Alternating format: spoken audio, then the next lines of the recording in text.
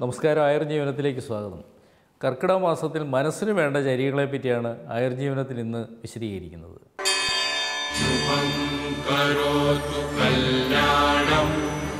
ആരോഗ്യം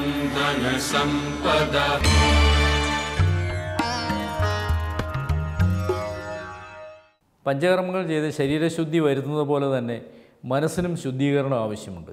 മനസ്സും ശരീരവും തമ്മിലുള്ള അഭേദ്യമായ ബന്ധം ഭാരതീയ ആചാര്യന്മാർ പഴയ കാലത്ത് തന്നെ കണ്ടുപിടിച്ചിരുന്നു. ആയുർവേദത്തിന്റെ നിർവചനം അനുസരിച്ച് സ്വാസ്ഥ്യം എന്താണെന്ന് നോക്കാം. ശരീരത്തിന്റെ ജൈവിക കർമ്മങ്ങൾ നിർവഹിക്കുന്ന ത്രിദോഷങ്ങൾ സന്തുലിതമായി ഇരിക്കുക ദഹനശക്തി ഉറപ്പുവരുത്തുന്ന അഗ്നി സമമായിരിക്കുക. ശരീരധാതുക്കൾ സന്തുലിതമായിരിക്കുക. മലമൂത്ര വിസർജനം സുഗമമായി നടക്കുക. ഇന്ദ്രിയങ്ങൾ തെളിവോടുകൂടി ഇരിക്കുക.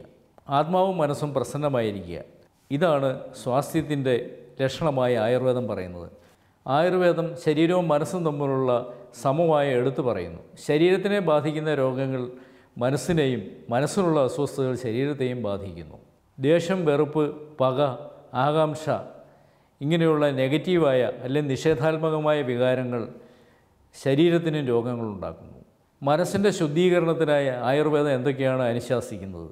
ചര്യകളിൽ തന്നെ ദശവിധ പാപങ്ങൾ പറയുന്നു. നാം ചെയ്തുകൂടാത്ത പത്ത് കാര്യങ്ങൾ. ഇതിൽ ഹിംസ അസത്യം പറയുക മുതലായ ചിട്ടകളെല്ലാം തന്നെയുണ്ട് മനസ്സിനെയും ശരീരത്തെയും ബാധിക്കുന്ന സൈക്കോസൊമാറ്റിക് എന്ന വിഭാഗം രോഗങ്ങളുണ്ട്.